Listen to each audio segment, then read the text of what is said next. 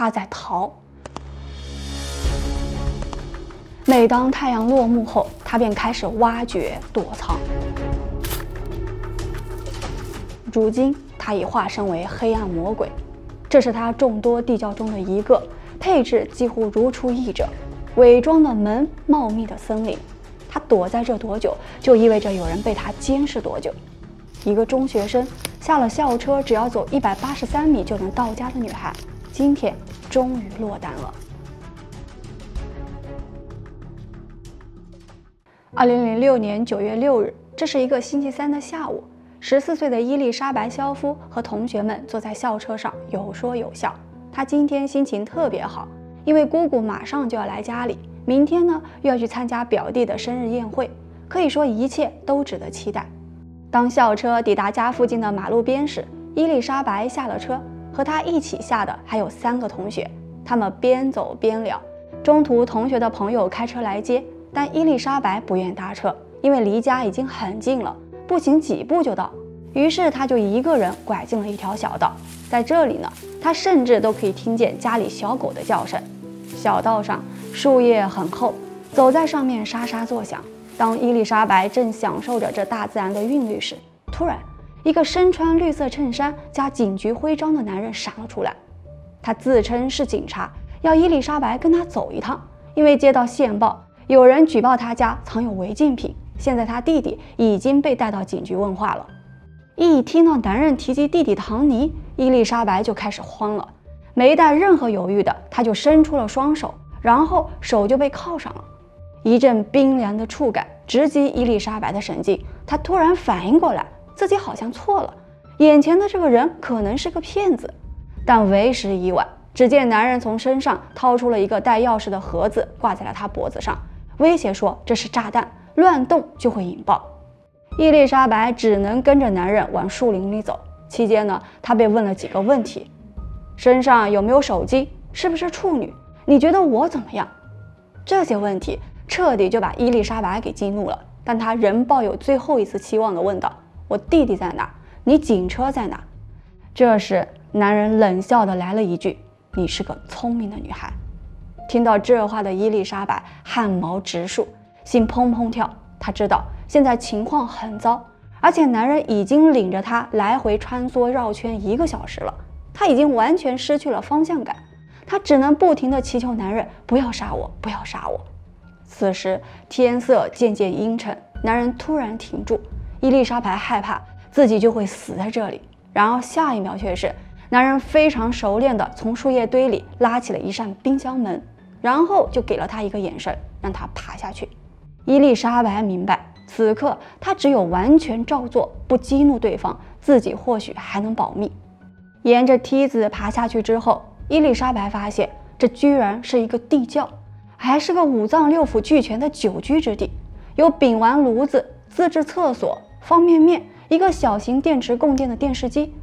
然而，还没有等他细看，他就被命令脱光衣服。终于，他明白为什么男人刚刚要问他那个问题了。被压在床上的他，只能无助地扭头盯着旁边的架子，潸然泪下。接下来的每一天里，男人至少施暴两次以上，有时候多达五次。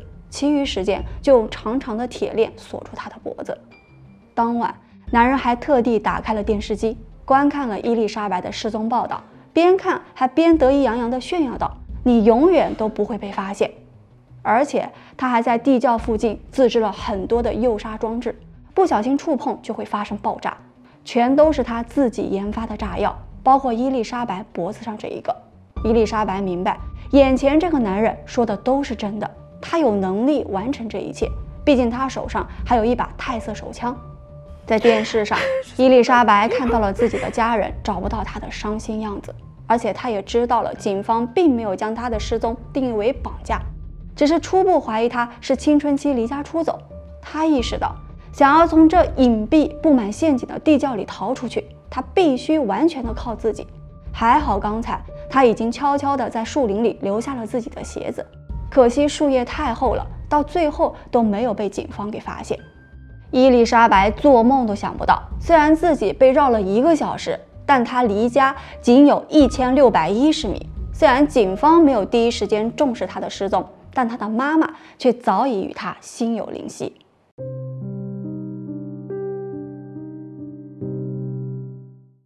马德琳·肖夫是一名药剂师，一个非常理性严谨的人，同时也是两个孩子的妈妈。由于她和丈夫工作都很忙，十四岁的女儿伊丽莎白和十二岁的儿子唐尼都是自己坐校车回家。每天下午四点半是女儿给她报平安的时间。今天是怎么回事？电话还没有打来，于是呢，他就干脆先打回家。是儿子唐尼接的电话，儿子告诉他伊丽莎白还没有到家。瞬间。不安的恐惧涌上他心头，他立即就下班，然后还给伊丽莎白的同学打电话。结果证实，伊丽莎白下午是非常开心的下了校车。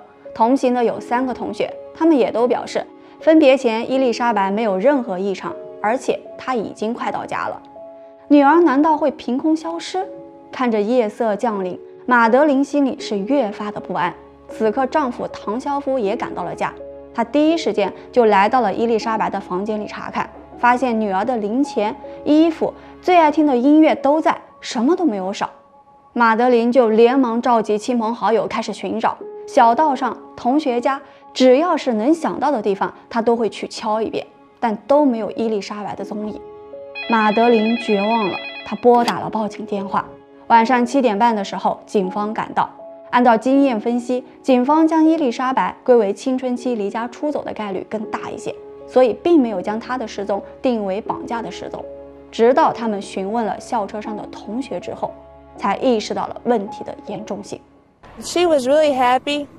We walked about halfway up the road, and a friend of mine's brother comes with his car and picks us up. She didn't want to ride, so we left and went to a different neighborhood and. came back and she was gone. 九月七日，全面搜索展开，越来越多的志愿者也加入了进来。社区各个角落里都贴着伊丽莎白的照片，新闻媒体上也都是她的报道。 可伊丽莎白家周围都是茂密的森林，很难步行穿过，也很容易迷路。追踪犬是一路追踪，也没有任何的收获。搜救期间，一旦有零线发现遗体需要辨认时，马德琳就濒临崩溃，她只能不停地祈祷。不是女儿，不是女儿。一直到第六天，警方已经把周围方圆五英里的每一条路、每一条沟，甚至是每一条高速公路都翻了一遍，想找到点什么，又害怕和伊丽莎白有关。每天，当夜幕降临，被迫停止搜索后，马德琳都会在伊丽莎白回家的那条小道上不停地徘徊。她能感觉到那里好像总有什么东西在拉着她。而且他觉得女儿一定会回来，但现实是残酷的。随着最佳搜救期一过，不仅志愿者骤减，连亲朋好友也都在准备伊丽莎白的守夜活动。九月十三日，就在伊丽莎白失踪的第七天，马德琳正要赶往哥伦比亚州议会大厦的守夜活动。她抓起桌上的手机，一边查看信息，一边往外走。而下一秒，她就差点摔倒在地。她居然收到了女儿发来的信息。嘿，妈妈，我是丽兹，我在魅力山附近的一个洞里，靠近那些大卡车所在的土路，赶紧报警，因为他藏着炸弹。丽兹，对，这个名字是平时他对伊丽莎白的昵称。紧接着，一周没怎么合眼的警方们也赶了过来，他们先是做了两个猜测：第一是恶作剧，第二是真的求救信。一个洞里还有炸弹，信息虽然很短。但却是七天里唯一的一点希望。他们不知道，这可是伊丽莎白拼了命发出来的。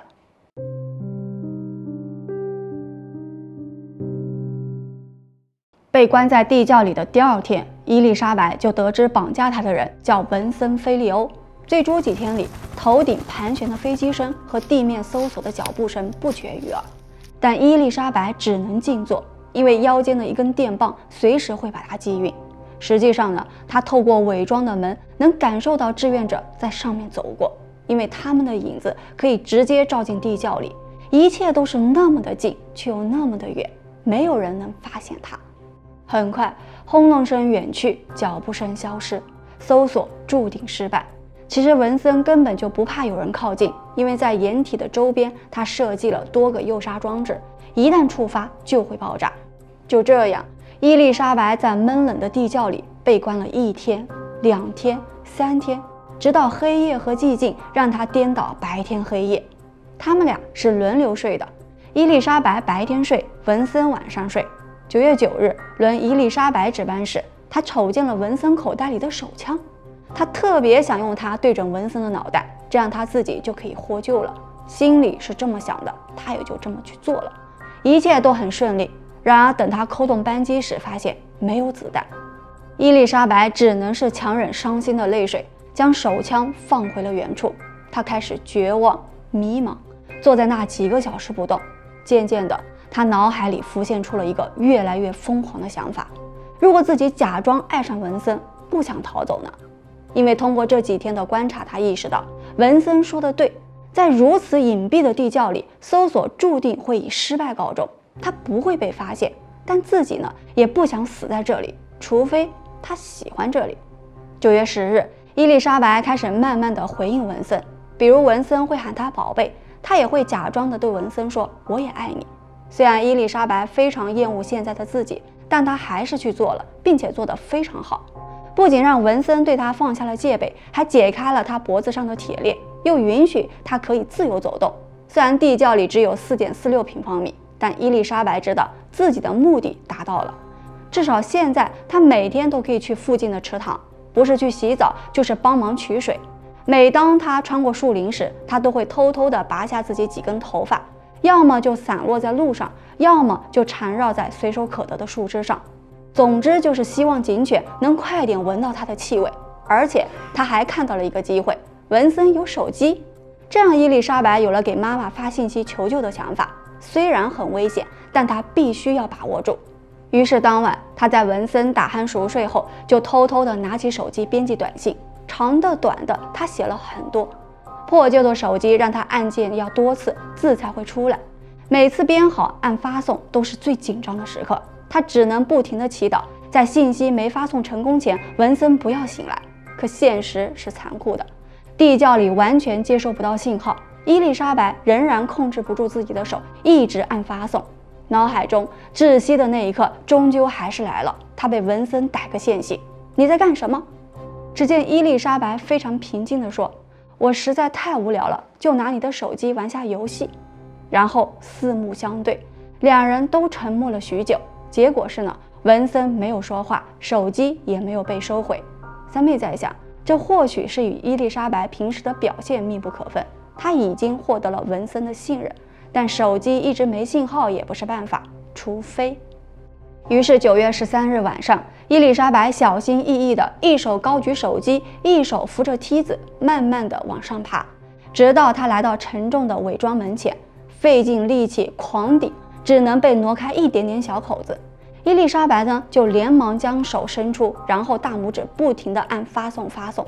伤心的是，他每次查看都是未发送成功的提醒。伊丽莎白再度绝望，但他并不知道有一条已经发送到妈妈的手机上了。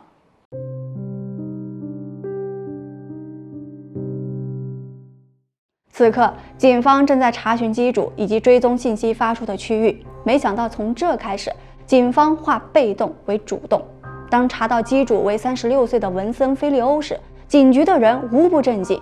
因为这可是他们找了一年的通缉犯呀，被指控性虐待他的妓女，且马德琳接收的短信是在周边十英里范围内，这意味着伊丽莎白离他们很近，而文森呢就住在伊丽莎白家附近。于是警方二话没说，带着搜查令就来到了文森家，结果发现他人不在，他房间里被查出了各种各样的有色影像，再加上在拖车里，他们发现了文森能躲避追捕这么久的重要原因。因为在卧室里一个没有栏杆的床垫下竟然有一个洞，后院的垃圾坑里竟也藏着一个洞，边上还有一个未成型的洞，目前只有两三米深。碉堡、逃生舱，警方开始害怕了。伊丽莎白到底被藏在哪？而且她是否还活着？接下来，警方的操作，三妹也保持意见，因为他们考虑到文森极强的隐蔽天赋，推测他有连环杀手的可能性。所以他们选择了在电视上公布文森的照片、伊丽莎白发送的短信以及搜查房车的所有细节，以此来震慑文森。大概意思就是你束手就擒吧。马德琳看到后非常愤怒，这警方根本就不顾女儿的死活。事实呢，也确实如此。九月十五日，伊丽莎白失踪的第九天，地窖上空突然又传来了直升飞机。文森就很困惑，立马就打开了电视，看到了自己的名字和照片。原来警方已经知道是他带走了伊丽莎白，他也立马就知道是谁背叛了自己。此刻，伊丽莎白被吓得大哭，她害怕自己就这么的死去，但她仍不放弃，仍撕心裂肺地喊道：“她爱他，不会那样对他的。”哭着哭着，伊丽莎白发现，好像文森的重点也转移了，她反而在思考自己该怎么办。她开始害怕自己被抓起来。是的。虽然他对伊丽莎白的做法感到愤怒，但他却不想死。他问伊丽莎白：“我是留下来看他们能否找到你，还是应该赶紧收拾东西走人？”一听这话，伊丽莎白连忙表现了对文森很关心。她说：“我希望你安全，不要你进监狱。可现在警察要抓你，你还是趁自己能跑的时候先跑吧。”此刻已经没了主见的文森，在伊丽莎白的劝说和怂恿下。决定丢下伊丽莎白，独自开溜。离别时呢，伊丽莎白又对他再次告白一番：“我爱你，我会想你的。”最后门被关上了。伊丽莎白惊呼：“终于安全了！”但她不敢轻举妄动，防止文森再来个守株待兔。一整夜，她都待在地窖里，直到第二天一早，文森仍然没有出现。现在多一秒，她也不想耽搁了，直接就爬上了梯子。但他也不敢乱跑啊，因为可能会踩到文森自制的爆炸装置。他开始环顾四周，呼吸着新鲜的空气，庆幸美好的生活又回来了。然后他卯足了劲，开始呼救。另一边，警方以文森拖车为圆心，展开了地毯式的搜查，已经快二十分钟了。他们每人之间距离九到十四米，像网一样往树木繁茂、树叶最后处走去。果然，他们听到了令人忘怀的声音，有人在呼救。不知道是不是心电感应，警方立马就回应了伊丽莎白的名字。而伊丽莎白听到有人在喊她，终于在那一刻，他放下了紧绷的弦，他一下子瘫倒在地，大声哭泣。值得点赞的是呢，当警方靠近时，伊丽莎白还提醒警方要小心脚下有炸药。很快，救护车赶到，非常虚弱的伊丽莎白被紧急送往了医院。马德琳和唐也快速赶来，他们很欣慰，因为与他们的预期相比，女儿看起来还不错，至少还活着，身体没有明显的伤害。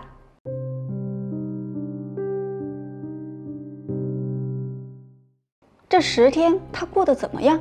警方和父母对此都不敢问太多，毕竟医生那已经做出了鉴定，伊丽莎白有被严重性侵的迹象。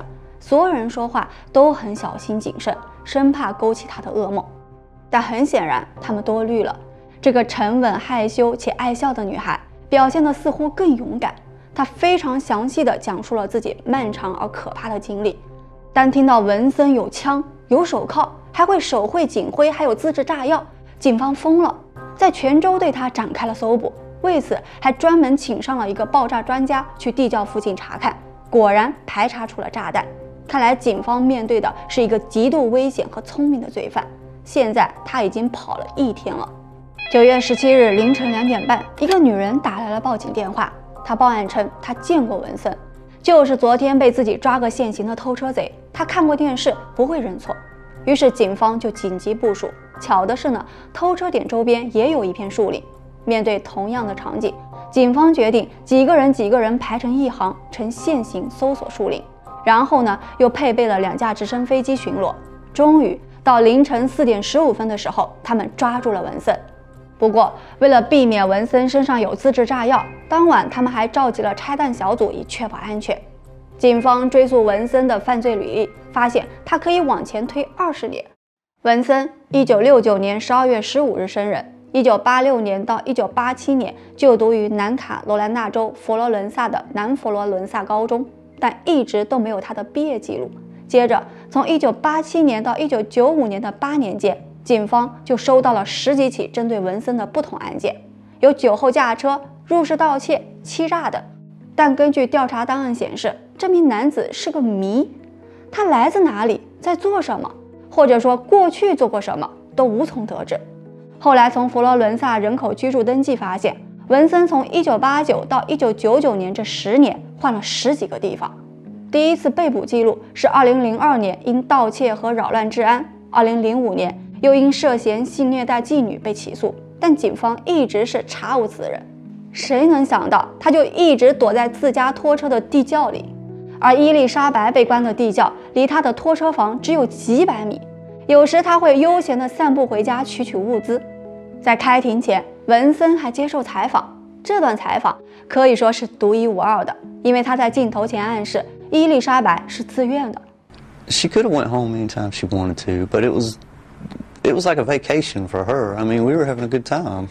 I mean, no more school for her, you know, just hanging out. Are you saying that she was a willing participant the whole time? Yeah. 当然了，文森的奇葩想法只起了他自己的脑。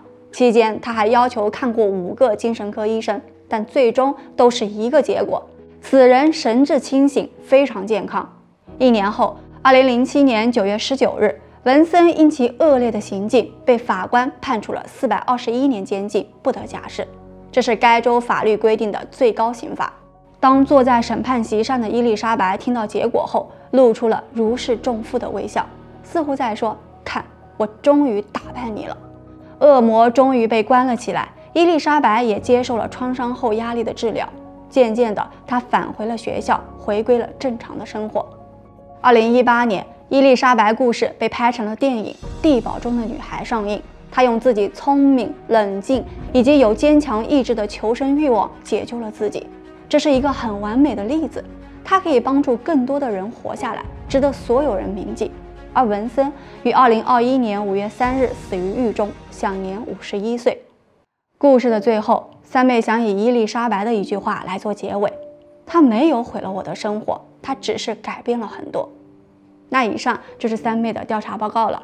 你的点赞、订阅就是对我最大的鼓励，还可以开启小铃铛哦，这样就不会错过我的任何影片了。小妹感激不尽，我们下期再见。